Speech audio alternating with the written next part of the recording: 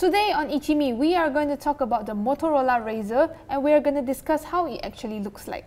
And also, the very capable yet affordable Realme X2 Pro will be arriving in Malaysia soon. So if you want to learn more, you better keep watching.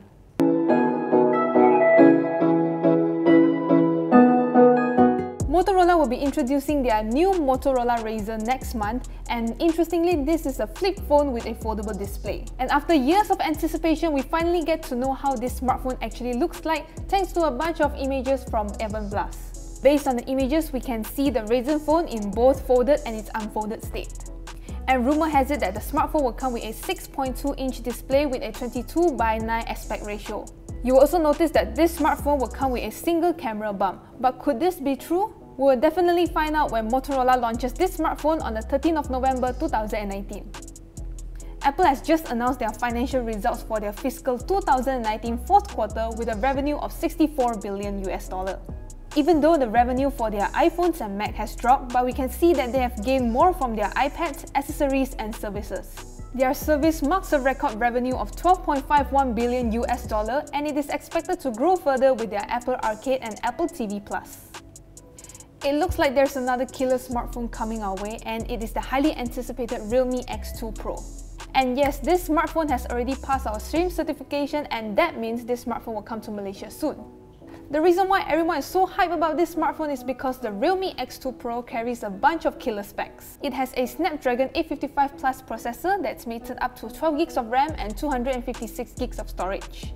And the best part about this smartphone is that it's super affordable. In China, it is only priced at 2,599 RMB, which is around 1,560 ringgit. This smartphone also carries 4 cameras in total and it also has a display that has a 90Hz refresh rate. Want to own a hot hatch? Renault Malaysia has recently announced a car subscription service for their Megane RS280 Cup. This allows you to drive home again from 3,999 ringgit per month and what's included is road tax, insurance and service. With the subscription service, all you have to do is to place a 6,000 ringgit security deposit and pay the monthly subscription fee that starts from 3,999 ringgit for the manual version on a 3-year contract.